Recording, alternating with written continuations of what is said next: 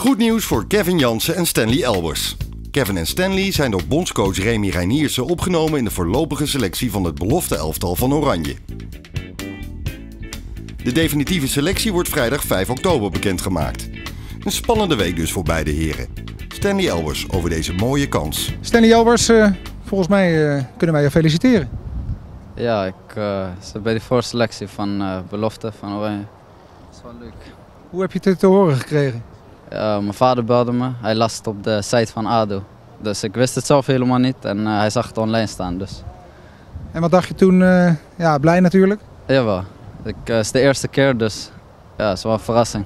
En hoe ziet het er nu verder voor jou uit? dat weet ik niet. Ik weet helemaal niks. zoals ik al zei, dit is de eerste keer.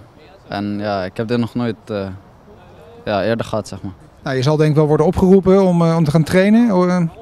Ja, 5 oktober wordt uh, zeg maar de officiële selectie bekendgemaakt. Dit is de voorselectie. Dus daar zullen er denk ik nog wel een paar van afvallen. Ja, 5 oktober weet ik dan meer. En ben je dan zenuwachtig voor zoiets of ga je gewoon jezelf zijn en vol gas? Ja, gewoon mezelf zijn natuurlijk. Helemaal niet zenuwachtig. Als het niet gebeurt, dan, dan niet. En zo, ja, dan is het leuk. En pas je dan ook je training aan of doe je iets anders? Nee, gewoon hetzelfde. Want daarom ben je geselecteerd, omdat je doet wat je nu doet.